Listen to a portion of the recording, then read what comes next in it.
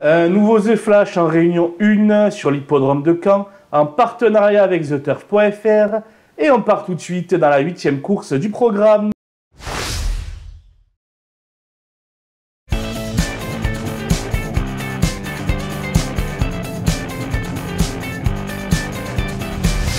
Dans cette épreuve, j'aime bien le 5 Kedani Lorraine qui réalise un très bon début de carrière sous la férule de l'expérimenté Alain Chavat.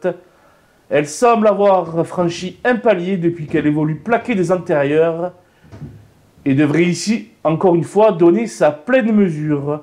Dans ce lot où aucun concurrent n'est à rayer, le parcours fera certainement la différence.